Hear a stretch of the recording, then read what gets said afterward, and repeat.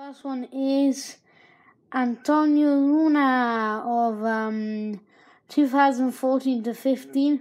Quite a different layout to the other ones, I must say. Um, there's um quite something. Well, it's quite old. I think it was the last year with the stars down here until they reinstated it.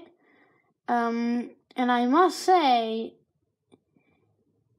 I really like this one. The layout's cool. The background's really good. I really like this one. Quite very old fashioned, and they kind of got back with this style in 2017 to 18. And you will see that later. To the next one. It's a very boring layout, I must say. Francis Coquelin with this one when he was still back at Arsenal. They put, as you see, midfielder. Instead of him putting down there, has been putting there, so the positions change. So the stars, so this was quite a different one. They still had um all the ratings down here. So that changed then. Let's say to space for the midfielder thing, they had to move the price to down here, which I think is really good. But nothing special with these ones. I never thought they were that good. And now to the 2016 to 17 Fernandinho card. Not a big change, except for obviously where the ratings have gone. They've now gone to the side, and the layout's much different, much better. When I first saw these, I thought they were going to be the best ever. I really like them. I thought they were like amazing. And then I found out these kind of graph things. They make tons of mistakes with them, so they weren't that great after all. But still, not the best card, I must have said. I didn't use it when I played games, but the layout is nice. That's kind of nice, but you know, for the graph problems, it's, it's nice. It's better than the last two. And to the next one. These are ones that you've seen from most people if you answer that. The stat reveals or like the unveiling of how they look. And I must say, this one was really good.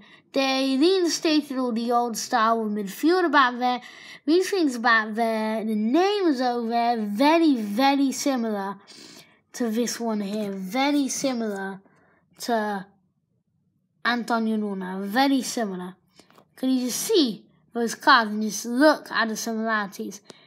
Like, they barely even changed, like, the background. It's kind of similar. So, very similar to this one. They say the old style. They still got the um, price tag down there. They changed where the badges for the but these two are really similar. They're probably the most similar, going back to the old stuff. And to the last one, which some of you might not have seen because you didn't see the other video.